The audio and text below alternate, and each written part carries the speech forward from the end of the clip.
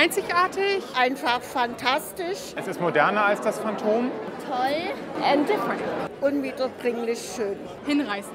Das sagen die ersten Zuschauer von Liebe stirbt nie Phantom 2 in Hamburg. Denn schon vor der großen Premiere war es einigen Gästen vergönnt, Andrew Lloyd Webbers neues Meisterwerk in den Previews zu bestaunen. Das durchgängige Fazit der ersten Zuschauer? Pure Begeisterung. War sehr spannend bis Ja, jetzt.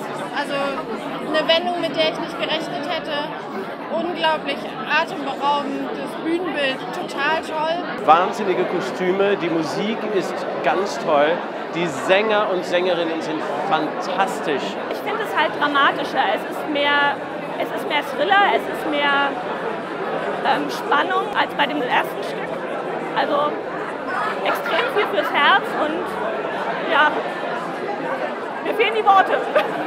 Ich war erstaunt, wie, wie, wie das Kind gesungen hat. Es war ganz fabelhaft. Und auch, auch die Christine und das Phantom ist äh, grandios. Grandios, muss ich sagen. Haben sich echt ins Zeug gelegt. Also ich war vor kurzem noch im ersten Teil ähm, und ja, finde den zweiten vom Bühnenbild wesentlich aufwendiger und echt klasse. Am 15. Oktober ist es soweit und Liebe stirbt nie. Phantom 2 feiert seine lang ersehnte Premiere.